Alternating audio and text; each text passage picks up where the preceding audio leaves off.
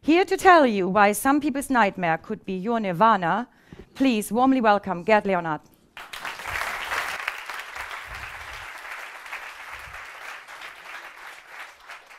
All right, thanks very much. That was a great intro. Thanks. Okay, here's my iPad. Sorry, no Android. So I'm gonna uh, read tweets. It's uh, G, G Leonhard, G L E O N H A R D. I'll show you in a second my Twitter address, and if I actually get to it, I will try to read your tweets and uh, and respond. Let me just bring this up here. All right. So uh, it's a great pleasure to be here. I live in Switzerland. Um, I was born in Germany. Don't hold it against me, please. Uh, I, I lived in America for a long time, uh, for 17 years. I used to be a professional musician. I made 20 records. Uh, I had a real great time as a musician, but in the mid 90s, I jumped on the internet as an internet entrepreneur, made a lot of money, lost all the money, went bankrupt 2001. Um, and basically proceeded in a direction towards understanding what media looks like in the future. Uh, I wrote a book in 2004 called The Future of Music, which is translated in, I think, in 15 languages, probably not in Dutch, but uh, that book is actually still selling, which is very sad, considering that it's quite old. Uh, all my other books are available on the internet for free. I just tweeted earlier a tweet, just uh, look for GERD, G-R-D, and free PDF, and you can download all of my books uh, on the internet and read it in ever which way, or don't print it, whatever you'd like to do. So, as a futurist, this is essentially my job. Uh, just a, a, question of warning. I didn't become a futurist because I knew what a futurist was. I did not actually know what a futurist is. When I wrote the book, The Future of Music, uh, together with a friend from Berklee College, uh, people started calling me a futurist because I was always talking about the future. I don't know if that word even exists in Dutch. In German, it's futurist, same thing. But anyway, I didn't know what it was. People said, well, you talk about the future and media, so you're the media futurist, so I became a futurist. But this is my job, is to listen to stuff that happens. Uh, there's a saying in Chinese that said, if you want to know about the future, ask a five-year-old. And that's probably true.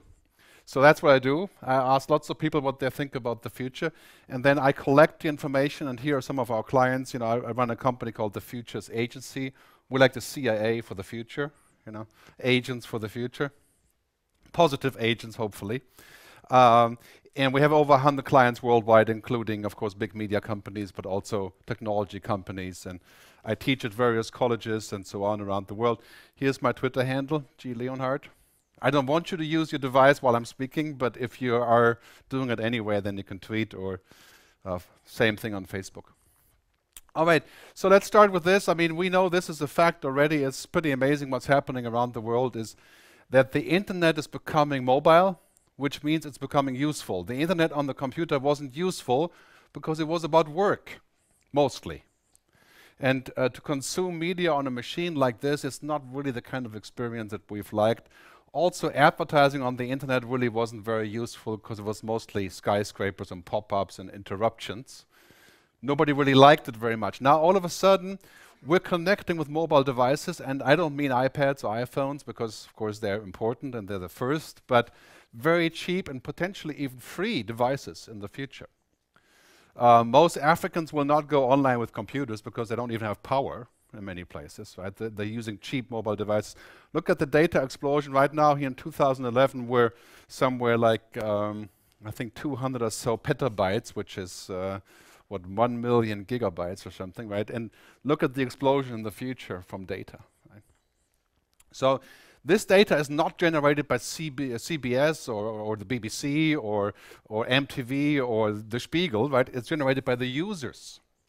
Uploading, downloading, sharing stuff, generating media themselves. So now for the first time ever, we're actually also producers of content, even if it's just what's called meta content, which is content about content. For example, if you see a movie, you make a comment that becomes content that goes with the movie. So you see this happening in the future in all different places all over the world, you know, this absolute huge explosion of, of uh, mobile data. So you can say now, looking at the, at the trends here, uh, this is US audience change, 2009, 2010. 17.1% more people are watching content on the internet than before, Everything else is in decline. Okay? This is US numbers. Huh? Uh, US consumers move very quickly. It's going to take us longer in Europe. For example, in Switzerland, people are not at all this extreme. It will take longer. Uh, and of course, in India, it's hard to go online. So, uh, well, not period, but in many places. So it's going to be harder for them. But if you're looking at the worst hit, right, magazines, newspapers, cable television, US. So give this 10 years when you are ready to uh, to start your company, or maybe five years, or you already have some, maybe. Right? Basically, if it's not online, it doesn't exist. That's sort of the end of the discussion here, right? So you can see this complete convergence of cable television, magazines, newspapers, and the internet. That's what's happening right now. So it's not that broadcasters will go away or radio stations, but they're all going to merge with what we see online, right? All coming together in this huge convergence.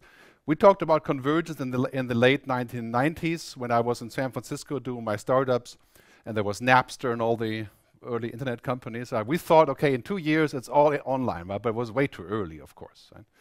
But all the things that we had discussed weren't wrong, they were just too early. So look in this direction, it's all going online, and basically this is our daily occurrence now, it's complete disruption. Imagine, for example, you run a four-star restaurant in France, in the Guide Michelin. You're in the Guide Michelin, and it's printed every two years, and you have your spot in there, and people come to you, right?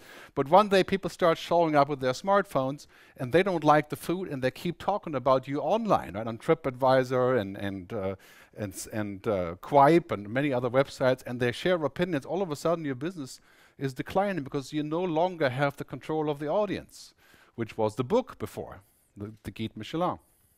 So disruption is now everywhere. For example, banks are in deep trouble because now we can exchange financial information online. We can use applications to calculate our loans, right, which lots of people do. There's even an application to get divorced. So if you're a lawyer, you can, you know, you can use this application to help people get divorced. Right? So this, I'm, I'm not using it myself, um, but I could have used it years ago. But anyway, disruption, right? There's disruption everywhere. So this is great for you because only disruption will give you successful innovation. There is no innovation without disruption. Because if you're not disrupting something, you're probably not doing something right that somebody else could do. Take, for example, the most uh, successful entrepreneur in the last decade, really, or last two decades, Richard Branson, right? Virgin. Everything that he does is about disruption, doing something better than the other guys. And he has failed, of course. But in general, that's his sort of mantra, right? Disruption. And uh, Henry Jenkins, who runs uh, MIT Media Lab, or used to rather, he's somewhere else now, he says it's not about technology, it's not about gadgets, it's about emerging cultural practices. How do we buy? How do we get information? How do we share? How do we bank? How do we get education? It's about cultural practices. Everything we do is about culture, is not about tech. And tech is just the surface of this. Right? So don't look towards computers or geeks or technology, right? This is about how people are changing in the face of technology that we have. For example, 100 years ago, roughly 100 years ago, a little bit less, we had this invention called the radio. Okay. When the radio first came along, all of the composers, publishers, artists said this is a very, very bad thing because people can listen to music for free. Right? Not good. So that they refused to make it legal. And every single person in the country, all over Europe and uh, especially the US, was using the radio, actually using it without permission. And people got killed over the radio because they were the enemies of the musicians. One day they figured out, okay, 99% um, uh, percent of the population is using radio and listening to radio. We have to do something. So in the US, this went to Supreme Court the court said it can't be illegal because everybody loves it. Figure out a way to make it work. And then the court said it's not illegal to have music on the radio, but you have to pay a license fee, which is how composers and musicians get paid by the use on the radio. Today, forward to the internet, same thing, right? It's not good because it's free. Right? But the reality is everybody's using it, everybody's doing things. We have to find a way to license what people do rather than make 5 billion people change. So I'll talk more about that in a minute, but looking at this slide from a good friend of mine, Ross Dawson from Australia, he's talking about when newspapers will stop printing. And as I was saying earlier, the Americans move very quickly with change, so they're first. 2017 is when Ross thinks people will stop printing newspapers by and large, maybe on the weekend. Right? And you can see this happening right now. The New York Times is thinking about whether they can just print on the weekend uh, and all these things. I mean, obviously, this is a huge topic because 75% of the newspaper budget is not making the content, but the cars and the printing presses and the ink. So the problem with newspapers is not that we don't like news or that we don't not willing to pay for content. The problem is that 75% of the money goes somewhere else rather than the content, right? which we may not like so much. So would you rather pay for a truck driver to deliver the newspaper or for the news themselves? Right? That's of course a key question. So here in Holland, right, where, you're very safe still, 2027. That's a long time. Right? So you can help innovate. You know, I don't think this is actually quite true, but you know, just sort of a ballpark. In China and the US, in China, 97% of people that are on the web are watching television over the internet. Right? In other words, because many of them don't have cable or satellite, obviously, they have to watch stuff like TED.com or Fora.tv or BigThink or, or, of course, YouTube, right? YouTube being the most popular. Right? So this is called OTT, over the top. Right? Over the top television will beat cable in the long run. Right? I mean, cable has huge advantages today because you know it's it's nice quality, it's quick, it works, it's it's really easy to use, and so on. But if you see what's happening around the world, it's basically the most crucial thing is that this television knows who you are. It's very scary also, of course. We maybe we don't want the television to know who we are, depending on what you're watching. But what you see today is that every single television that you buy can connect to the internet. There won't be a television in two years that doesn't automatically connect to the internet when you have a connection. So every electronics show you go to, every television connects to the internet, does all these things. So you can watch television, you can chat with people, you can look at your Flickr photos, like all the stuff where you have to be a geek today to make it work. Right? This will work in the future. And where are all the TV shows coming from for these channels? Right? I mean, today we have, what, 100 digital channels here in Holland, maybe? Uh, used to be just five terrestrial channels. Now we have a million channels or 10 million channels because if you want to watch about yoga all day long, you could do that today on the internet, right? It, it works today. Right? So that content is coming from a huge crowd of people. So now if you're a television producer or a film producer, which I also do, I have some movies called Future Talks that I've been working on. We're not looking towards the, the Discovery Channel or the BBC to put this out. We're looking towards Facebook, YouTube, Netflix, Amazon, and many others. So you will see in the future that we're going to see uh, companies like Facebook develop TV shows, which they already have said they want to do. And YouTube has a $100 million fund to create television shows. So that's coming back in the future. You're extremely lucky to be in this period because you no longer have to go to LA to figure out how to make a TV show or to Hilversum for that matter. So it's of course both happening at the same time. It's not either or. So then we have this trend now, th that basically Google has the best embodiment of this trend is that the market value of Google here is actually much higher today, 280 billion, I think, compared to the traditional guys in US, Viacom, Time Warner, News Corp, and so on. Look at the market value of Google. Right? Beats all of those guys easily. And Google doesn't even have any content. They don't make any content. They don't make anything. Well, they make lots of tech stuff, of course, right? And they're the biggest provider of public domain software. Right? They publish they publish lots of stuff, right? But their market value is based on this, which is data.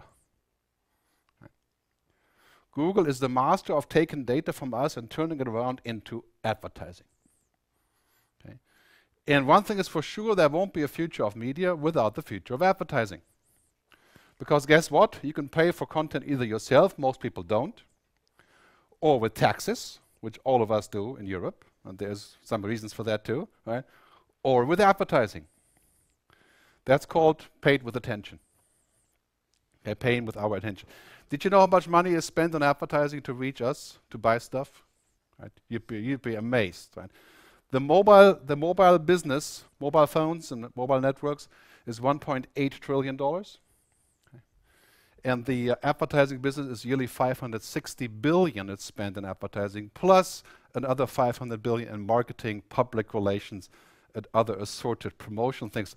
So it's roughly a trillion dollars. Right? A trillion dollars is spent on selling stuff to us. Take the money of a trillion dollars, right? That's four times the market value of Google. How much is the music business? Anybody know? Answer quickly because it will change. It will go down the next second. Okay. The music business is about 17 billion dollars. Okay. 17 billion. That's 1.7% of the entire global advertising budget. If you don't think that we can support music or other content with advertising, you're looking in the wrong direction. It hasn't worked so far. That doesn't mean it won't. Right? So keep in mind, for example, cable television. If you have the cable come into your house to watch TV, it's a lot more expensive than you're going to pay with your 10 or 15 euros for the basic cable. It costs like 150 euros to get the cable to your door. So the cable guys give you television for free basically, because they hope that you will buy more. You will buy HBO or the wrestling channel or whatever stuff you want to buy. The average American consumer starts with $12 for cable, they end up spending $85 a month. Okay? That's called upselling. You don't start by saying to the consumer, give me a hundred bucks and you can watch television. Good luck. Right? So if Spotify says to us today, give me 10 euros, to what to listen to all the music you want, most of us won't do it. I will do it. I am doing it. Right? But it's two or three percent of the population. If Rupert Murdoch says to us, "Give me a dollar a week to read the newspaper," most of us won't do it. If we make it free and we say, "Okay, let's find a way to access the content and make it a really big audience, and then upsell you to the next level," most of us will do it. Just like cable TV. So it's all driven by data and by advertising. For example, here paying with attention, most of you I'm sure use Gmail. Many of us do. Why is Gmail so great? Because they have uh, what they have 450 people on this team making cool stuff for us for free. In return, they read our email. Right? Google reads our email, and not personally, but I mean, you can see in this example, I have a, a video, I see an ad over here, right? And it's tightly synchronized. It's actually very good. So when I go to Hong Kong, I use my Gmail. It says, okay, here's a great hotel, because Google knows exactly I don't buy cheap hotels and what I like. It's actually perfectly on target, right? Because they've been reading my email for the last two years. So what's the deal? I'm giving them my data. In return, they give me free email. That's the deal. So Google makes right now $2.9 billion a month of these tiny boxes here on the right, right? In return, we get all the cool free stuff from Google. That's the deal, paying with attention. And that's going to happen for a lot. I mean, Google is a media company, if you haven't noticed. They're a media company, right? They're heading in the same direction here. I mean, obviously, Apple is doing the same thing because while we're using the iPhone, we're going to see those cool ads that Steve wants to put in there that look like content. Right? They look like they're completely targeted. Facebook has advertising. You've seen that. I advertise on Facebook. It works great. You see all the stuff that's happening here with Facebook and location. In America, you can log into a Facebook and you go to a mall and they give you free jeans at Gap. Just for the fact that you've logged in and said who you are. Right? That's called paying with attention. Right? Twitter is a, a, a, bar in Germany where you can get a free beer if you tweet about them. I tried it. Beer was terrible, but the tweet worked. Right? So that's all called paying with attention. Now, if if you look in the future of media, somebody has to pay for people to create things, right? Obviously, you know, people want to get paid for what they do, right? But are we going to look to the consumer and say, as of now, the rules have changed? It has never been that we paid for content flat out, like to look at it, okay? We didn't pay for newspapers, the advertisers did. Right? We didn't pay for radio, our taxes did. I mean, indirectly we paid, but, you know, in a pool. So all of a sudden, the rules are supposed to be you pay to watch the newspaper on an iPad. Right? It's not going to work. Because we pay with attention. We may decide that we don't like to pay attention, so we pay. Right? We pay with cash. We can do that too. Right? But that's the model of the future. So basically, we're all like this. Right? We're all up there in the cloud doing stuff forwarding, recommending, tweeting, rating, Wikipediaing, Amazon reviewing, all that stuff. You'd be surprised how many people do this now. It's about 70% of American kids upload stuff to the web. 42 hours of video on YouTube every minute is uploaded. 26 million pictures of Flickr a day, every single day. So this can't all be fools. I mean, there's a trend here, right?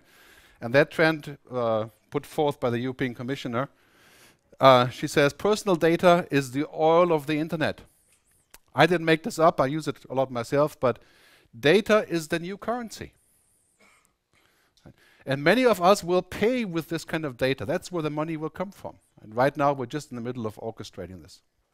So all that stuff will basically be sort of chasing our data. And it's very important that when we talk about data, we talk about trust, transparency, user control, and value. I mean, this is what Google is giving us. Right? It's amazing. They actually have given us so much that we become suspicious of them. Right? They're too good to be true, actually, because now we're thinking like, just like Facebook, we're saying, okay, uh, we, we kind of trust them, they're sort of transparent, but if Facebook makes a mistake, right, we have them within two hours, we can hammer them. Right? Like last year, they changed the terms of use, that everything we put up there belongs to them. Within 20 minutes, a million people had quit Facebook. Within two hours, it was like three and a half million. Right? And within 14 hours, they came back and said, "Oh, guys, we're so sorry. Just uh, we go back." Right? They can't control us. We are we're controlling them. That's quite different than say Microsoft, right, or the BBC, which in a way we can control, but takes longer. So that's what's happening with data. Now let's talk about a couple of trends that are happening in the digital domain. Um, you know what this device does? It makes uh, two headphones out of one, right? The most popular thing for kids. So you don't have to share the earplugs like this, right? I have like a dozen of those for my kids, okay? The bottom line is sharing is now what people do with media. If we don't allow them to share, we can pack it up. Right? Because that's what it's all about. If I can buy an ebook for 12 euros on Amazon Kindle and I can't share it with somebody, at least to a certain degree. It's useless. If I buy digital music on iTunes, I can't make a ringtone. I mean, I'm using iTunes anyway, but have you tried this? Doesn't work. We can't share. Yeah, we can give somebody the iPod. That's it. But without sharing with that, so sharing is a default. Whatever you do has to include sharing, has to work. And now there's a bunch of laws that I'm sure you've studied. The Digital Economy Act, Hadopi law in France, three strikes, ACTA, and all this. I'm sure you know about this stuff if you've looked at it, right? It's basically the idea of saying if people share stuff on the internet, then when we catch them, they can be disconnected. That's the idea. And there's laws to that effect pretty much in every country now in Europe. Starting with the UK, the most progressive, where all the good music comes from, or used to come from. Right? But there's a great saying by Benjamin Franklin who says, Those that give up essential liberty to obtain a little temporary safety deserve neither liberty nor safety. I think it's a good reply to this.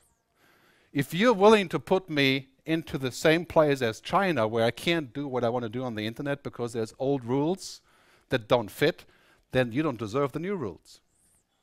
Right. Think about this for a second. I mean, if we're going to get locked up because there's no way to actually legally buy what I want to buy because the price is too high or it's not available, then I'm basically in a position to where I'm criminalized by default. Right?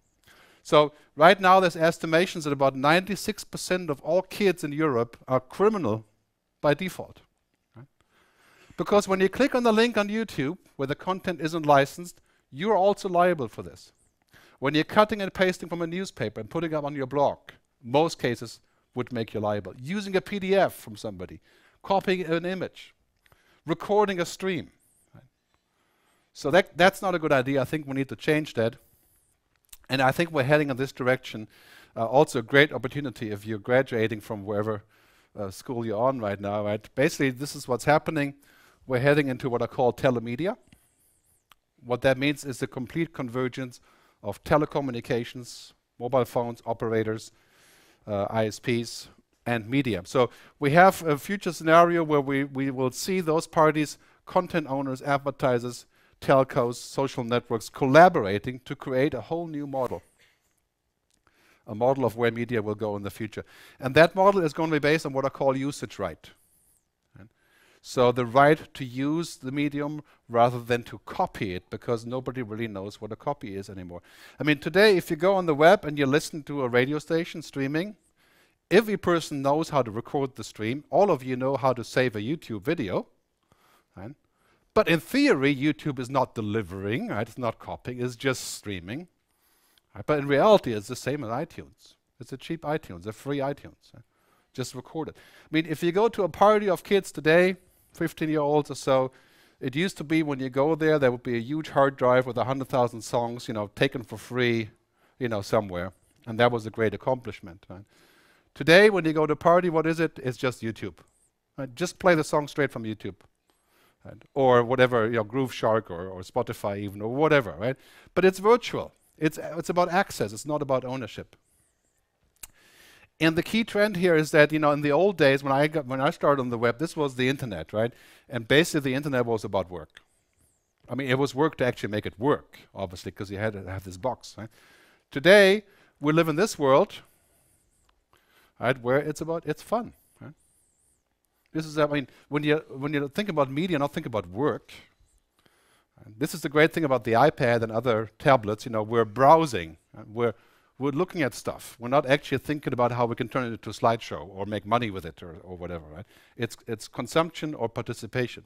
Right? And then, as Kevin Kelly says, you know, we live now in an age where it's people of the screen. I mean, just look around you when you're traveling. There's screens everywhere, even in the train or even in the airplane now. You can use your Wi-Fi. Right? If you go to Asia, there's QR codes uh, projected onto the buildings. Right? I mean, there's all kinds of things. Now you can go to a shop and you can stand in front of a virtual mirror in Korea and you can put the clothes on and then you can tweet to your friends, right? And they will see an image and they can tell you if it's a good fit or not. Right? I mean, there's screens everywhere. So Kevin Kelly, who's the founder of Wired, says, we're people of the screen. And people of the screen are just not the same than people of the book. I hope that people of the book don't go away, right? because I love the book, and I would love you to buy my book, of course. or download it for free, for that matter, so go back to the screen. But basically, these people are not the same kind of people. Are we going to go to those people and say, you know what, if you want to buy my book, it's 14 euros, but the printed book is 15 euros? That's not going to work. Right? I mean, that idea is crazy. Right? That's like saying you're going to get less value because you can't actually trade it and, and it's not physical, right? Our distribution costs are zero, but we're going to make more money than before and restrict the use. That's not going to work, right? I mean, people of the screen are extreme people, as we can see here. You know, play their like screens everywhere. You know. And then we have this, right? I mean, how many of you, I mean, of course, you're the perfect target group for this. I mean, the like button is the most powerful instrument of advertising you can imagine. I mean, I get every day I get emails from people saying, "Can you please like me?" Right? And I get tweets saying, "I'll pay you a thousand dollars if you tweet about my product." Like my product. Right? I'm always saying, like, well, if I had to like your product, I have to look at it first, and most of the time I don't like it, so I don't bother. I'd, of course, that would be a cut of a million dollars. You can try me, but a thousand. But anyway, um, this is the most powerful advertising message. 86% right? of people buy stuff because other people recommend it. We don't buy things on facts, we buy things based on emotion. Right? If my, my tribe, my peer says this is a great car, I'm interested. Okay? And if I endorse the, next, the, the latest Audi car on my Facebook page, lots of you will look and say, oh, maybe should take a test drive. Right? I mean, it's stupid in a way, but that's how it works because we're, we're tribal animals. Right? So the like button is extremely important. So Facebook is building an economy of several billion a month based on the like button. Right? Because imagine if you're a film producer Facebook says to you, you know what, if you get 100,000 likes, we'll produce the next series with you. And then Facebook will say, you know what, if you buy Facebook credits, which is the Facebook money that Facebook is just now launching, right? Your fans can give you a credit if they like you automatically, which is like 10 cents or something, right? So this is like Kickstarter or Sellaband or so, but inside of Facebook. So you can click on the like button and you can raise 100,000 euros for your next movie. This sounds like theory now, but just give it two years, we'll have this. But be warned, of course, it's extremely hard to get money from people in this way. Right? It's in principle, it works, and, and Kickstarter is a great example. Kickstarter has raised $40 million for 27,000 projects. So it's very hopeful. It's not a, a fix-all magic wand, but so we're going to this world of where basically people are going to say, you know what, if I want to watch a movie, I'll use whatever screen is available, as long as I have a central place to where the movie resides. So most of people today will not accept that they have to watch Tatort on the German show or Derrick, or whatever old people watch in Germany, like myself, right? At quarter after eight. I mean, that's a stupid idea. To be on the schedule of the television. So you have to finish your dinner in time so you can watch television. I mean, you have to be over 50 to accept that. Right? We're not going to live in this way. We're just going to say, well, you know what? I have 50 screens. I'm in the car, on the airplane, on my mobile phone, on my gaming device, on the HD screen, and whatever I have access to is going to show up in all those places. Right? On all different screens, depending on what I do. And of course, the most important part, all the stuff that we do is in the cloud. Up there somewhere. It's not going to be on this box over there. Right? Cloud computing. You've heard about cloud computing, right? That's the most important part. So the, our world is going to look a little bit like this, right? We'll have endless choices. And this is the tough part. Because when you have endless choices, right, it used to be when you go to London 20 years ago or so, you couldn't actually eat in a lot of different places with all fish and chips and pizza, maybe some Greek food, right? That would be it. Right? Today, when you go into London, you have the most amazing choices of restaurants, you know, anything from Afghani food to whatever you can find, right? So you have this. So it's extremely difficult to get a big audience when you have thousands of different channels. So we have fragmentation, we have aggregation, but most importantly, this is your choice if you're in the media business.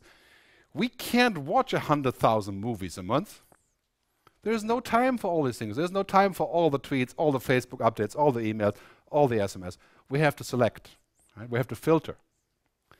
So today it's no longer about distribution, because distribution is plenty. You can watch free or illegal, or that makes no difference. You have all of the choices all the time. Now it's about selection, relevance. The average person, studies have shown, listens to 40 new songs a month. 40 songs in music. That's sort of the range, the human range. Now, why does it matter if I have access to 10 million songs or not? I just consume 40. Makes no difference. Why do I need to buy the 40 songs? Can I not just have access to 10 million and use 40 songs? Because I can use whatever I want then. Right? This is what we have in cable TV. So curation is going to be the key factor. Curation, relevance. I mean, in Western countries, we're more starved for time than we are for money. That's kind of sad, actually, but that's the truth, right? I mean, basically, we're not so much worried about spending a euro. The average person with an iPhone spends $4.80 on apps every month, downloading, you know, divorce apps or whatever, and uh, niche companies as well. I hope you don't know Farmville. Um, it's very addictive, you know. I showed it to my kids, and they're playing it all the time, which is kind of too bad now. They should show it to me rather, but anyway. So Farmville is an amazing game. It's owned by a company called Zynga. Last year, Farmville made $360 million. It's a free game. How do they make $360 million? You can buy a virtual carrot or a tractor, I'm sure you know. Uh, you know, it's, it's gamification, right? So basically, our society is becoming involved in all kinds of games. That's called gamification. This is a key word for the future of media. Right? Make it a game, you'll make it successful. Right? Education will become games. I mean, games in a different way, of course, right? But there's already lots and lots of games that you can play to learn things, right? And that's going to be the future as well. I mean, if you look at this direction, Foursquare is essentially a game. Anybody here on Foursquare? Location is a game, right? We become mayor, we do all these things, right? It's a game. Is it real? Yeah, it's sort of real, but it's also a game. And Facebook, in a way, is also a game. And that's also the reason why we can't take it too serious, by the way. right? Like Twitter, in a way, also is a game, right? Because we're gaming it, so to speak, by retweeting and doing all these things. That's why we can't take it too serious. It's not exactly the same as real life. Right? I mean, there's a lot of overlap there, but it's also a bit of a game. So this shows the future essentially will be a combination of sort of the real life stuff and what I call gamification. For example, there's lots of advertisers who are now creating games based on things. For example, uh, you have to go and find the uh, Red Bull sticker somewhere that's hidden in a place that's published on Facebook and uh, and so on and uh, you know, all these kind of ideas. So that's definitely happening in the future here. Uh, I discussed this earlier. All content is moving into the cloud. So if you're a TV producer or film producer or publisher, that's the direction that it's going. Amazon, uh, six weeks ago, announced that it allows its users to upload things into cloud and listen to music everywhere. And of course, the music industry and their, and their eternal wisdom, they went and said it's not legal to do that because it's fun. You know, that can't be legal. So uh, all content is moving in the cloud regardless, right? And basically what we have now is we have this whole debate about copyright. And I want to touch on this topic because it's crucial, right? It's academic. The question is totally academic. Okay? First of all, everything we do on the web creates a copy. We don't have to say we buy a copy, right? Then, in theory, of course, all rights holders have the right to refuse the copy. So when you make the copy of the YouTube video, in theory, somebody else can say they don't allow it. But in reality, that right is academic because you can't enforce it because nobody's going to talk to you about one uh, rip from a stream, right? So what we're seeing right now with services like Spotify, Simfy, and uh, Paper.li and Flipboard. Anybody know Flipboard here? Uh, it's a really great app for the iPad where you can make your own newspaper out of Twitter and Facebook. Right. And there's a key question there. When you're sucking off somebody else's content from the web through RSS feeds like Flipboard does, is that legal? Right. Should that be legal? Do they have a copyright? Right. So we're moving now into a world that's much more about what I call usage right. It's the idea of saying, you know what, I'll allow the use of it because I want to share the revenues. Why are the record labels allowing Spotify? Well, at least in some countries, you know, of course, they're giving it a very hard time across the board, but I think it's okay in, in Holland, right? You have Spotify, right? Yeah. So they're allowing it because they're saying, you know what, if people access the, uh, our music and many of them become more interested and buy other things, that's good for us. Right? In theory, right? But they don't like the idea to be worldwide, so it's only like five or six countries that are blessed with Spotify right now. So we need to get away from the idea of saying we can use copyright to prevent the change of business model. Right? That's a very bad idea because it will certainly kill you. Because what you're doing here is you're using something that in principle is yours, but in reality, everybody finds a way around it. I looked yesterday, there's 1,450 websites where you can stream motion pictures, the latest releases for free. Stream, not download. Right? You can watch the movie online for free.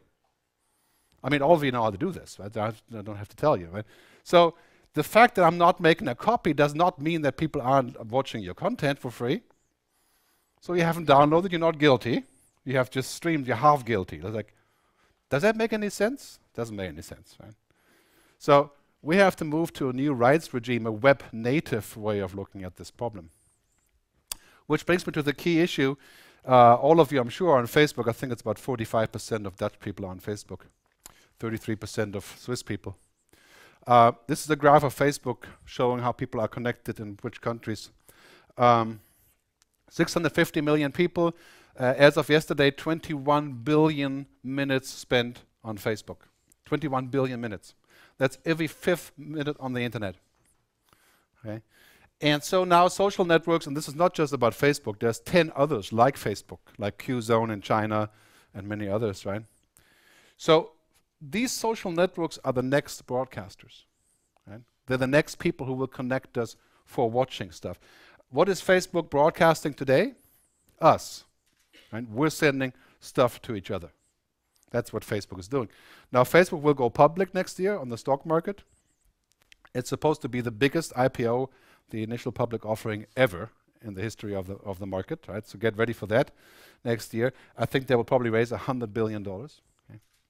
Now, if Facebook gets that money, and they will, and they already have quite a bit stashed away, they will buy a TV license. They will buy a radio license, they will become a broadcaster. You'll have the music right next to your friends list for free.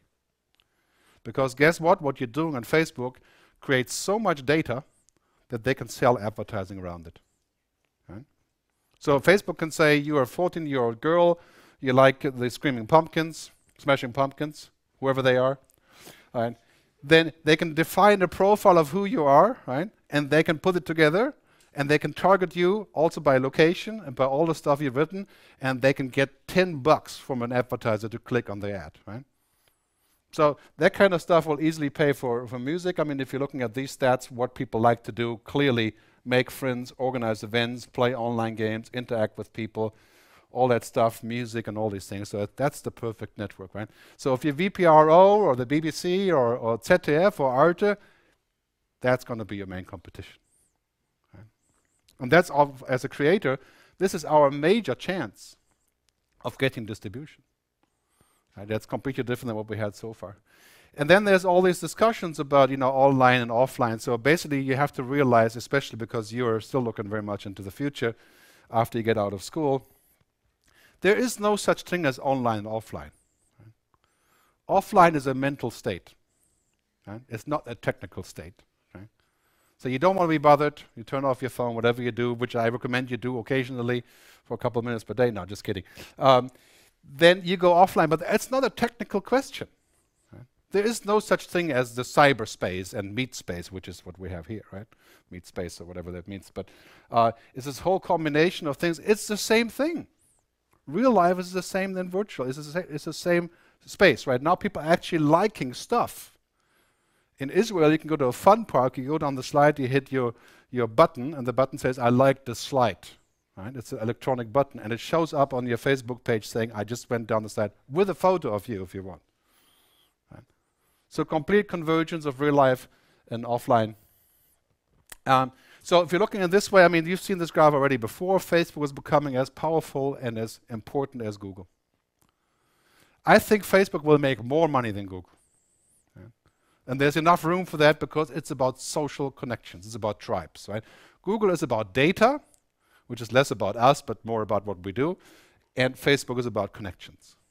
So they go together very well. It's too late for Google to buy Facebook, but they will probably buy Twitter as a consequence. So see this happening already. You know, Alicia Keys has a place on Facebook where you can buy her music. I mean, if you're not streaming it for free, you can buy it, right?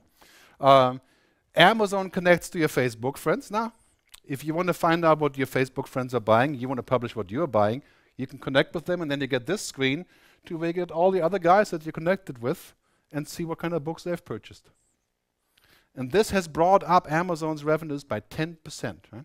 This is a feature that a website can build within three afternoons, basically. Right? It's an API. Right? It's connecting data.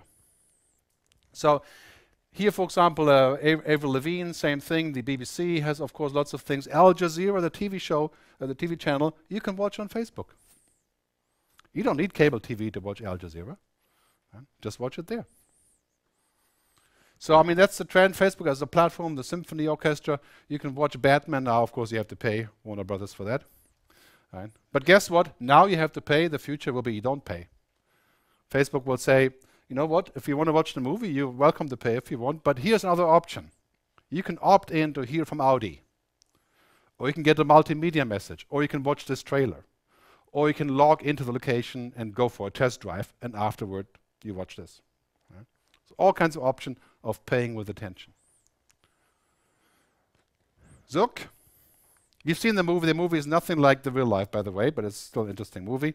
Right? He says that he expects his company to make billions and billions of dollars turning the TV, news, film, and music business upside down. It's good for you, right? Because there's a lot more Facebooks right now than there are big cable TV companies gearing up for this kind of future. So Facebook is the next cable TV. And not just Facebook, but all the other ones like it, like QQ, Mixi, Orkut, and, and so forth. So yeah, we have to get ready for the Facebook monster. There's lots of good things, a lot of bad things about Facebook, but if you're talking about the future of media, you cannot possibly avoid talking about Facebook, obviously. Right? Uh, the other thing that Zuck said, which is interesting, it says we have the most powerful distribution mechanism that has been created in a generation. He did not say I have the most powerful way of connecting with strangers or wasting time or whatever you want to call this, right? It's a distribution mechanism. And what is Facebook distributing is our attention to each other. Right? That, that's the distribution of Facebook. Right? So that's the, the way that we have to look, and this is one most important thing that's happening on Facebook. It's also helping us to go from the idea of ownership to access. Now let me ask you about this. If you're thinking about buying a new car, okay, who, who here has not considered alternatives to buying a car? Uh, not the train, I mean having somebody else's car. Car sharing. Right? Car sharing and car renting and leasing and all this stuff where we, we don't actually own the car is the biggest growth industry in the car business. And in transportation, the biggest growth industry is not cars, it's bike renting. Right? Every city now has bike rental programs. That's the biggest explosion in transportation innovation. So now you have about 50 companies around the world who are saying, don't buy a car, share a car. Right? You can share your own car, you can share somebody else's car. It doesn't matter because you don't have to own it. You can access the car. That goes for houses, right? You can swap houses on the internet. I've tried it or couchsurfing.com. You know, you can go to somebody else's house and swap that, right? So that sort of thing is basically happening. So around the world, we're making this move from me, which is, you know, the, the central place, you know, the, the central monopoly entity that broadcasts, you know, Disney, Universal Studios, the big broadcasters, which is not bad, but now, all of a sudden, we're in the age of we all of a sudden I am interested in seeing your Flickr feed. I want to see which YouTube movies you like. I'm reading your tweets. You're reading my tweets. We don't need the BBC to moderate our tweets. We do it ourselves. So all of a sudden we're going from this idea of the central entity to the decentral entity. And guess what? The future means we have both. This is where it gets confusing for media companies, right? Because they're thinking like, okay, they are solidly in control of our destiny when you actually watched MTV or VH1 in the in the past or Star Television in Asia, they curated the list. You didn't have a say on what person was going to show up on the next clip, or maybe you could call in sometimes, but basically you didn't, right? On YouTube, we make the playlist. There is no central playlist. Right? There is no central broadcaster. Right? So we're going from the world of the network, you know, the big TV station, the big broadcasters, the big brands, to the world of the networked. Okay, and this again, the confusing part is it's not either or, it can be both. Broadcasters will not die, big companies won't die, but all of a sudden these guys have to also say, what are we going to do about these people? CNN is the best example. What do you see on CNN most these days?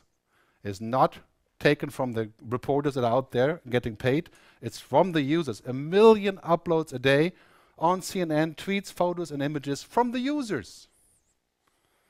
CNN is still valid only for one reason, is that they've taken in what people are doing themselves. Right? They work with Twitter, they work with video calls, they use Skype on television. Right? Al Jazeera. Right? All broadcasters will switch to incorporate this process. And if you're a broadcaster, if you don't do this, then you become irrelevant, you just go away. Of course, one argument why we pay taxes in Europe is that we have the benefit of curation and professional use, but it has to connect with this as well. And if we don't have that, then also we are, you know, we're going to get dissatisfied from this. So we have this idea from one to many, which is the past of media, and to some degree also the future, to the idea of many to many. Now, you can argue the idea of many to many means there's lots of garbage. Because we, we produce lots of garbage. I mean, basically Twitter is about 99 point something percent garbage, right? I mean, if you, if you don't have a filter, right? It's noise, right? You choose to listen to me because I may have less garbage, or I listen to you, and then we, that's how we filter, right? But basically, in the many-to-many world, it's going to be a lot of noise. So we need these guys, the one-to-many, to help us with the filtering. Right? We need both. Because the filtering takes a lot of skills, right? So basically, it works this way this way as well as this way, for example, MTV and YouTube, actually work together quite nicely. I mean, I don't watch MTV anymore. you probably don't either, right? But they still have advertisers, which is amazing to me considering what YouTube did to them. But anyway, so we have we're actually moving in both directions. So that's good news and bad news if you're a big company and an incumbent media company, right? You've got to get into the network model. But on the other hand, if you're only a network company, you have to also become more central and do more curation because otherwise it's too much noise. So it's sort of, we need both. I was talking about this earlier, the uh, one-to-many. You know, we have relied heavily on copyright in the past. So the record labels would say, well, if you uh, if you rip something from the CD, you put it up on the internet, that's not legal, clearly.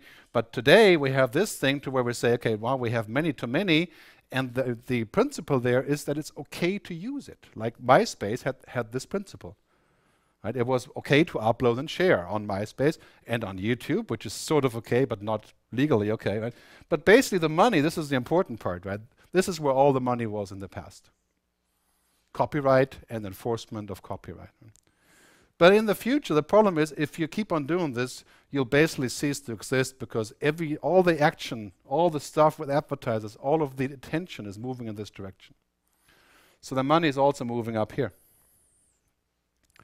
So in other words, the television studios, the publishers, the record labels, the authors have no choice, and they are seeing this right now, than to say, you know what, it's better for us to be a part of a system to where we can monetize in what's happening here than to stay in this corner and wilt.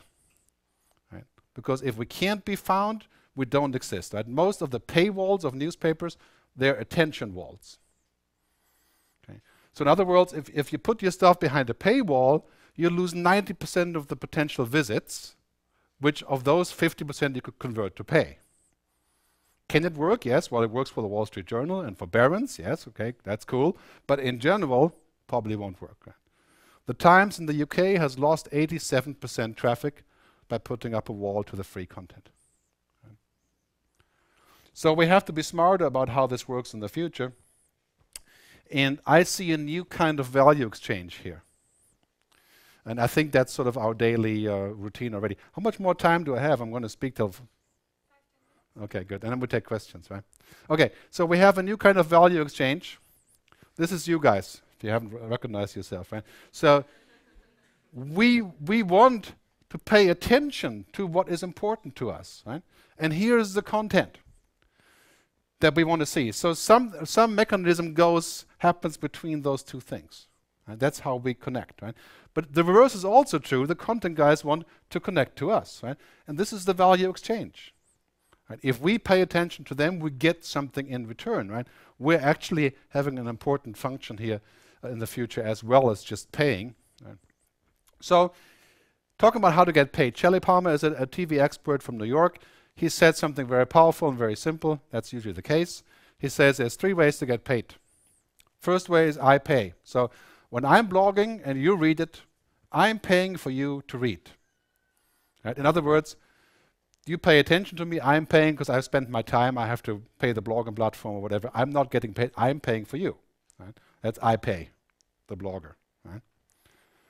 The second one is like the Times, New York Times has tried or is trying a couple of weeks ago, you pay. New York Times says if you come to our website more than 12 times a month, you can't get in unless you pay. That's you pay. Right? I call this the my way or the highway approach. Friss oder stirb, as they say in German. Right? That means you pay or you go away and fuck off and don't exist. Right? So the next one right, is the they pay approach. This is the very first ad you saw on American television from a watch called Bulova. Okay? They pay. What does that mean? Somebody else pays for me to get something because they want to also get to me. Right? That's called advertising marketing, advertising, promotion, sponsored, branded content, whatever you want to call it, somebody else pays. 78% of all content and media has been paid for by they pay in the past. And I include taxes here, right, if you want to talk about taxes. So there's a, a, a, blended model that's coming up, just like it has always been in the future. Right? Think of a blender, this nice blender, and stuff these things in there. Okay? And depending on what kind of company you have, who you work with, what your audience is, you blend the model. Huh? So the blender isn't working here, sorry. It was supposed to blend, but it's not blending. Anyway, uh, you have to switch, the, hit the button and blend the model because it's not as easy as saying there's a recipe. You should charge for newspapers. You should not charge for newspapers.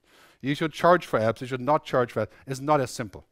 I wish I could give you a recipe, but the fact is that it's different in every culture, for everything that you do, for every magazine, for every product. There are places where you can say, you know what, you should pay. Example is the most popular movie service in America called Netflix. Don't try it, you can't get it over here. Netflix uh, offers you for $10 a month a subscription to all of the movies streaming over the internet on all devices for 10 bucks a month, unlimited. And you can also rotate DVDs coming to your house. Right? 10 bucks a month. Why are people doing this? Right now, 22 million people a month are subscribing to Netflix. Right? That's 220 million a month in income. They have this model, you pay. And why does it work? Because it's a low amount, gives high quality content, it's reasonable. 10 bucks a month is like less than cable television, which is 50 or 60 or whatever. You have all the choices. It works. Right? It's reasonable. What would be the amount for music? Take a guess. The amount where all of us would say, I'm definitely paying for music. Give me a guess. Huh? A month. Come on, you're kidding yourself. that would be nice, right? It has been uh, established as one euro a month. Right? If all of us in Europe paid one euro a month, right? That that would be like the lowest. I mean, we could make it two even, right? That would be 850 million euros a month. That's almost a billion euros a month. 12 billion euros a year, which makes it already more than half the size of the entire global music industry. Right? Why are we not allowed to pay a euro a month? Because they think it should be more. So it's a question of finding the mechanics of I pay, you pay, they pay, and what's the price point, right? I mean, it's obviously crucial. Uh, I'll skip this because we're running a little bit out of time. We want to take some questions, so I'm going to jump ahead a little bit. And uh, as you can see, I was planning to be here, you know, next week. okay, you hear, you see the tremendous success of the International Federation of the Phonographic Industry, my favorite peeve. Um, I've written two books about music industry, and I got tired of it, and I put them in the garbage. Um, the music industry has achieved something very important, which is a 71% decline of revenues in 10 years, as you can see here. Right? And why is this? Now think about the music business. Right? Do we hate music? Answer, no. Right? Are we interested in music? Definitely. Right? Are we cheap criminals? Most of us, no. Right? Are we looking to defraud the, the, uh, the artist? We're not. Right? Uh, don't we, we don't have mobile devices. We do. So what's the problem with this curve? Well, clearly, we're people of the screen. We're different. We're not going to accept the fact that we're going to buy music like 30 years ago, which is a euro song. Some of us are doing that, but most of us will not. Because we're different people now. We're, we're looking for different ideas. Right now, we're looking to go from the copy to access. Right? I mean, if we can have this, if every subscriber on Vodafone or whatever a mobile phone company has access to Spotify bundled together with your subscription, nobody would complain. Is there money in this? Yes, there's plenty of money in it. I mean, we're going undeniably from the copy economy to the access economy. So if you're making a business plan for world domination for your company in the future, right, it's about access. It's not about selling copies. So here's a smart guy, Kevin Kelly again, right? He says when copies are free, you need to sell things that can't be copied. And I tell you one thing we have to face in our future of media, copies will be free. Free meaning available and you can't do anything about it. Anything that's digital will go up on the web. I was in Russia two months ago. I went to a factory where they're scanning every single book ever known to man, scanning with a machine and giving it away for free on the internet in return for advertising. A 500k download of any book you want for your BlackBerry, Nokia phone, whatever you want, free. Right? So if your model is to sell copies, you're in deep trouble. Right? if the publishers are going to look to sell 13 euros worth of a copy of an ebook, they'll get 1 or 2% of the population, people like us, you know, faithful believers, to buy. But it doesn't solve the problem. We have to sell something that can't be copied, and Kevin Kelly calls this the new generatives, the new way to make money. And this is his list. I'll give an example of immediacy.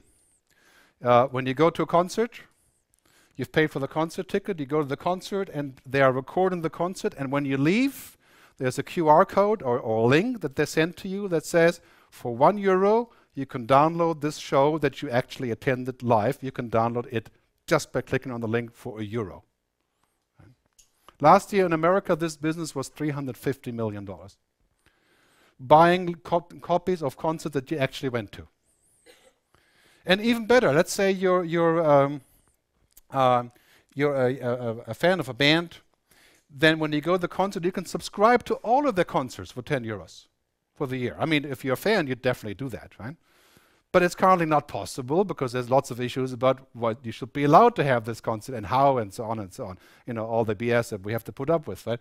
But there's loads of money in this. All right, for example, the interpretation.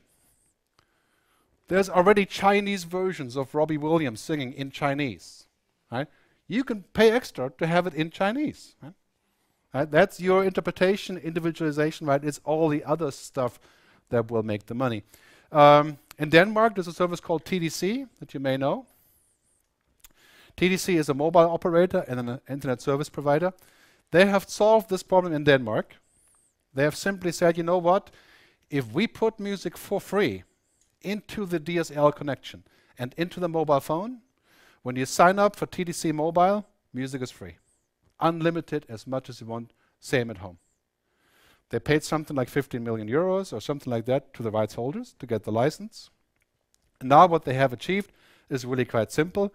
People who are signing up for TDC, sorry, more important part is down here. The churn rate, people leaving the ISP or the mobile company, has been reduced by 50%. So people stay with this company for the DSL service or the mobile service because they have free music.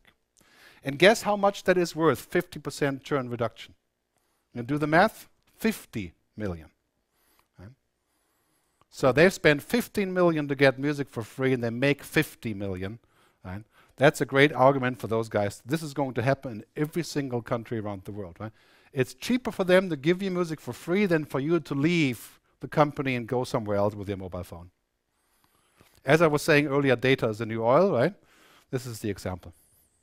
So that's the kind of problem solving we're going to see in the future. We've already discussed this, so I'm going to give it a quick wrap up and then we'll take some questions. I swear I will stop now. You know. So, okay. Sorry, I answer a few more slides here, but. Okay, uh, two more things that people are asking me about. I think this is important. People always say, you know what, you're talking about advertising and stuff, but you know, who, nobody likes advertising because advertising used to be about interruption, garbage, noise. Right? Now advertising will become meaningful. In other words, when you're at Schiphol Airport, somebody will say, okay, you, they know you got up early, you want a coffee, you get a coupon. A company called Groupon, they're doing this already. And this coupon will get you 40% off the coffee. You appreciate this ad because you want a coffee, right? But how do they know? because you shared something that makes them understand where you are and what you're doing, right? So this kind of advertising, you know, the watering can, that would be like having a huge billboard of McDonald's in the middle of the airport saying, drink coffee. Right? That's the watering can. Here's a sprinkler system. They know you're leaving at 6.45. You, you've just used the taxi or the train. They have the data and can give you an offer. Right? That's the sprinkler system.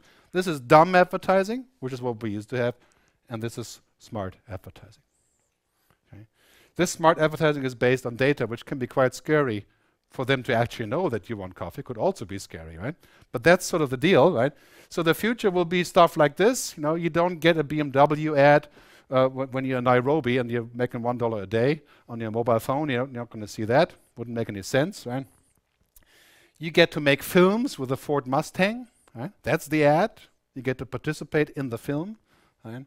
So advertising is going beyond interruption. This is very important because if you're looking at this slide from Kleiner Perkins, they're saying basically on the mobile phone, advertising is extremely powerful. Right? It's relevant, it has reach, it's viral, it allows transaction. This is crucial because if you ask the question where money is coming from, clearly this advertising will deliver the money. Right? As I was saying earlier, trillion dollars a year. So a quick summary, all content is moving into the cloud. If you don't like this, too bad. This is basically what's happening. Uh, when it moves into the cloud, whole different rules apply. And you can say you don't want to build the cloud, you don't allow it, but that's a theory, right? That's and yes, we can say that, and we have said that many times, but it has not been fruitful. We cannot prevent sharing. If you prevent sharing, your business model is doomed. Look at iTunes, right? Has worked out great, 17 billion downloads, but people stop buying. People stop buying. Every single country, people stop buying. Eventually, when they've spent 500 euros, they stop buying. It's going from the broadcast to broadband, from the tower to the people, broadcasting to each other. Right? Broadcast and broadband are sort of two different things. Social networks are the next broadcasters. If you're not using social networks to broadcast whatever it is that you're doing, you should. There will be Twitter television before too long. Right? Of course, YouTube and all the existing channels are important as well. We're going from copyright to usage right, which is an extension of copyright, just to be sure. It's not a redoing, it's an extension, just like the broadcast license from the network to the networked. Uh, we need to create a different legal framework. This is crucial because we can't always say we're not ready. I mean, we, we have not, not been ready for 15 years since the days of Napster, right? We can't just sit there and say we're not ready yet. Right? We have to create a new legal framework that makes money rather than stipulates a paradox. Now it's a fight for attention, not for distribution. Uh, the media business is not about saying who has the most powerful tower or the longest cable or whatever you want to say about infrastructure. That's still important, obviously, for the few more years. But now it's about attention. Who has the audience? And if you're a creator, if you're actually a creator, a filmmaker, or a musician, right, it's the audience. If you don't have the audience, you're finished. Right? No matter how much money you want to make, without an audience, that's it. Right? You'll never make any. I can assure, as a musician, I've noticed. So we're going from ownership to access. That's the business model of the future. Here's my business models. They're free. Right. All these books you can download. I think if you're into music, you should try this one first. My latest one is called Friction is Fiction. And I have an app, of course, that you can download for $100 a piece. No, just kidding. It's also free. So um, my first book isn't free. I went with the publisher on that one. Uh, no comment, though. Um, Anyway, so that's it. You want to take some questions? Okay. Well, Look at my tweets. You had this audience's attention, so a big round of applause for now. Thank you.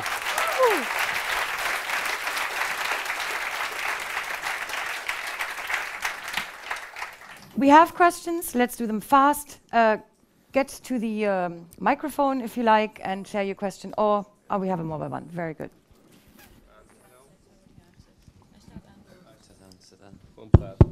Yeah.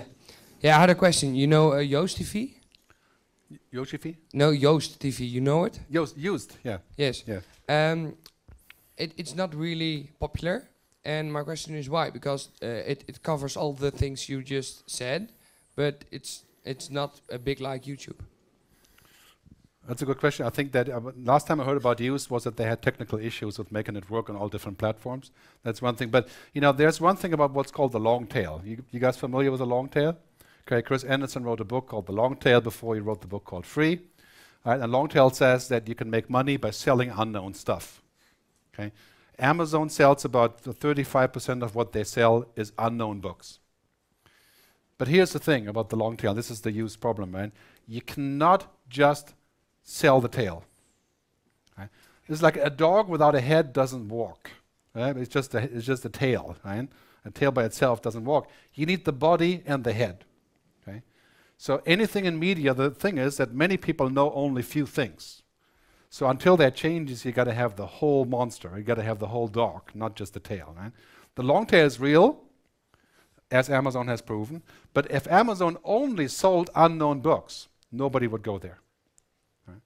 So this is the time that we're in this convergence between the broadcast world, which is all about hits, you know, American Idol, X Factor, whatever, it's all about large things, and then the broadband world, which is about niches. The thing is, however, if you start today and you say, I'm going to start a website where we have all unknown musicians, unknown writers, unknown filmmakers, right? You don't get to build the audience in the same way. You need to have larger platforms. So this is why YouTube and Facebook are important. Right? Uh, Joost in particular, I, I don't have an update on that, but I think that's one of their problems. Another question. Okay. Come on, get to it, people. This is your chance. First Frank, and then I get to you, right? Okay, Uh, I'm well, checking I- here. I can uh, ask Gerd the, Gerd a question that I asked him yesterday also, but I was Do you driving always to wear black? No, so Okay, probably uh, didn't hear the answer. No, uh, there's so much content that's created, and you say that curation will become enormously important. But what's the value of the content that we create? Because uh, we take pictures today, we uh, Twitter it, and tomorrow nobody's looking at it again. Yeah, it's a good question. I mean, first you have to define what content is, right? And today, what, what content is, is you may make a movie, then you have a million people comment on it, right? And those comments and ratings become content as well. Right? They're essentially the same sort of level, they're called meta content, right? So you have content about content. And that becomes key in finding it or actually spending attention on it, right? It's recommendation. Like YouTube, 75% of YouTube traffic comes from links. Right? People send links to each other. You don't see posters by the side of the road saying watch videos on YouTube. Right? That's not needed. So that's that's how they drive it. The value of content, I think, ultimately, of course, because of the noise, what's really good is more important than ever before. Right? It's not the noisiest that's the most important. I think basically, it's Darwinism, you could say. Okay? It's survival of the best, or the, you know, not the noisiest. I think what we're seeing now, and this is going to get much, much worse. I mean, three billion people are coming online in the next five years. Right? Africans, Chinese, Indians, Indonesians, right? Brazilians, and they're all publishing stuff as well. right? So here's the key question: uh, Are you going to listen to 60 million songs, or you want one of your Facebook friends to tell you about a cool band in Brazil? right? That's the mechanism of recommendation and curation. That's where the money is. The money isn't in getting 60 million songs, but six songs. Right? And this is also, I think, to be one of those six songs, that's the challenge, right? Uh, to create your own network. But uh, Seth Godin has written a great book about this called Tribes, right? It's all about tribes, okay? If you're in a band, or if you're an author, or if you're a programmer, or whatever you are, if you're creating stuff, you need a tribe that says, I'm for this. And the tribe is usually 150 people. Right? When you have this tribe, they will talk and, and tell their tribe members, and it spreads like this. That's how you get things done. Right? That's the human effect, and that doesn't change on the web. You can't have a tribe of uh, 1.5 million. Right? It has to be human tribe. right? We have time for more, two more questions, I think. One over here. You can also tell us who you are if you like. I'm John. Um, there are now 700 million Facebook users and uh, a couple more people on the planet. And do you think they get isolated from the world of because the advertisements are only focusing on the social networks and yeah, Yeah, I mean, of course, th- th- there is a danger in a, in a seclusion, you know, because we're only connected to friends and we don't pay attention to those that are not friends, right? That is a potential problem. However, if you look at the past of mass media, if you're talking about lies and deception, right, that's what we've had with television, right? I mean, clearly, the most deceptive and lying medium we've ever had was television, basically. Look at the weapons of mass destruction, right, that we were all thought were real. Everybody else did too. On the web, this can't happen. Right? So the benefit on the web is basically it's going to be almost impossible to lie about the most single small thing. Because basically, all it takes is just to look it up. I mean, if there's a thousand people looking up whether that's correct or not, within two seconds you know it's not true. I mean, if I told you I played with the Rolling Stones, it doesn't take too long for you to look this up, apart from the fact that you already knew this. Right? But now it's basically becoming impossible to lie on the web, which is a benefit of the web. But I agree with you that there is a danger in the sort of club mentality right, that we may encounter on, on Facebook. But having said that, I think we're still only at the very beginning of this process. Right? Um, as I was saying earlier, my sort of top meme is this idea from the broadcast to the broadband. Okay? In a broadband world, we are all a lot more responsible. We have to be responsible. Right? We can go on Facebook and get ourselves fired. Right? Not a problem. We can just tweet and get fired. We can do all these things and, and get sued and fired. We have to learn this, right? basically the internet is like nuclear power. Probably nuclear power, power is worse, huh? but we have to learn how to deal with this power that we have now. And this is we're all in the very beginning of this. The whole debate about privacy, that's the same same question. We're now public by default. And if we don't want to be public, we have to become private again. We have to do something. Right? So this is the key factor, I think, with all these things is that if we don't take this responsibility seriously, then we can get into deep trouble. Right? And last question, yeah. Last question, sorry. Hi, um, my name is uh, and I was wondering um, what you think whether cloud will physically be up there, no? Yeah. Yeah, where, where it will be. Yeah. That's a good question. Yeah, the I think basically what you're seeing right now is that there is um, sort of 10 or so companies who are competing to be that depository of the cloud, right? It's a little bit like FedEx, UPS, and, and, and all those companies that deliver things, right? They're competing, and hopefully by competition, we'll have them actually stay straight as well. But cloud computing is a long way from reality in that same sense, right? Because keep in mind that if the, the connection doesn't work, then you're without anything, right? So today, if you're on the air on the airplane, you want to listen to Spotify. Obviously, it doesn't work unless you've downloaded what you want to listen to. Right? You have to be prepared. But this frame is closing in about 10 years. Right? So basically, at that point, we'll be online no matter where, every time, even in Africa, even somewhere else, even underwater. Right? So that's a question of time. Right? The cloud computing has several issues there that we can't get into here, but that's sort of where it's going. The most important part about cloud computing is, however, is the control of the medium that's changing. So cloud computing means that we as the user control what happens with our content rather than the depository controlling what we can do, right, in a physical medium. That's all we have time for. What a shame. Um, thank you so much. Um, uh, audience, please uh, keep a lookout for the future agency and also developments on the um, future talks by Gerd Leonhard. Obviously, follow him on Twitter. And um, yes, of course. Um, should you forget, Gerd will be here until about uh, half past four. Uh, he'll do another session, but uh, he'll be able to uh, walk around and answer your questions during lunch or during the afternoon. So he won't be going away right now. Okay, thank I you. I hope. Thank you. And uh, thank you. And to, oh, I don't need this one. Uh, to encourage him to do so uh, and answer your questions, I would just very, very quickly like you to, if you have heard anything in this talk or learned anything that you didn't know before and that it was worth getting out of bed uh, this morning for and coming here, just quickly stand up.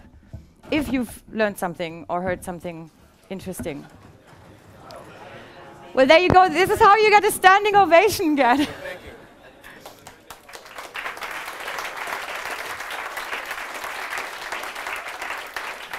Thank you so much.